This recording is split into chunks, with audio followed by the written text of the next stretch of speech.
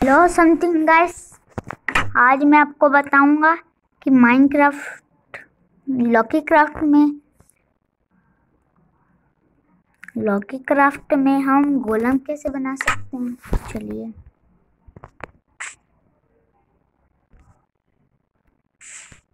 आपको चाहिए सबसे पहले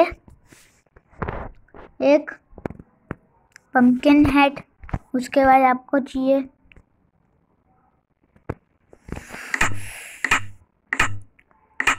द ब्लॉक ऑफ़ आयरन और चाहिए आपको स्नो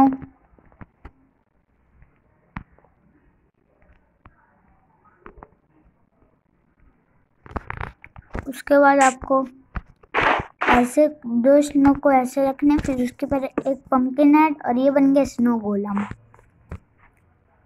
और आपको मैं ये दिखाऊँ कि ये अटैक कैसे करता है तो आप देख सकते हैं।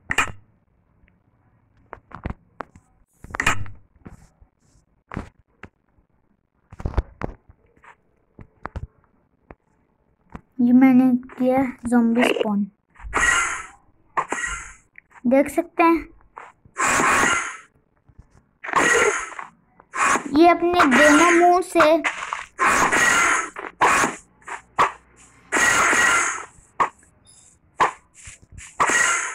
स्नोबॉल फेंकता है।